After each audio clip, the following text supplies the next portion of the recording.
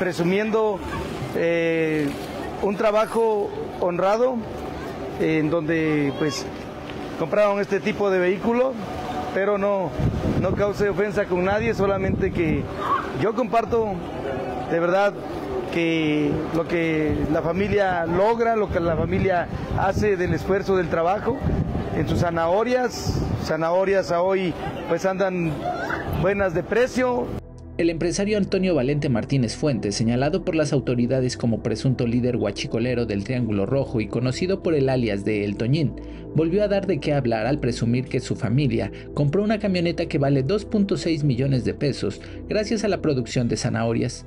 Acostumbrado a difundir aspectos de su día a día a través de redes sociales, este domingo 25 de agosto dio a conocer en Facebook que sus familiares le pidieron que los acompañara a bendecir la lujosa camioneta.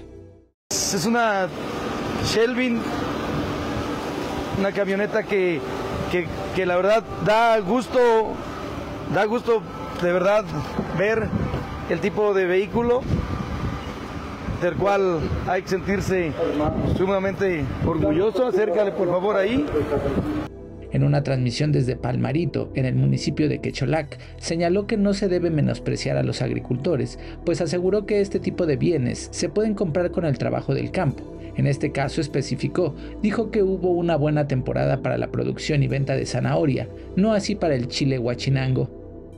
Me siento muy súper, súper feliz. La verdad me, me da mucha, mucha alegría y algo que le voy a pedir mucho a Dios, bastante a Dios, que les vaya bien a todas ustedes, a todos ustedes, que son mis amigas, mis amigos, a sus familiares, que les vaya súper bien. Teniendo la vida con eso y la salud, estamos perfectamente bien. Mantente informado con el Universal y suscríbete a nuestro canal.